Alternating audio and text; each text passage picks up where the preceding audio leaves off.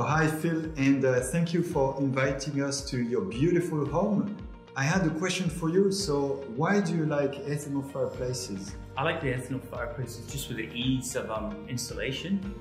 I just, especially this one here, we had a lot of problems with fluing and getting gas out, and this was just a far easier process to install.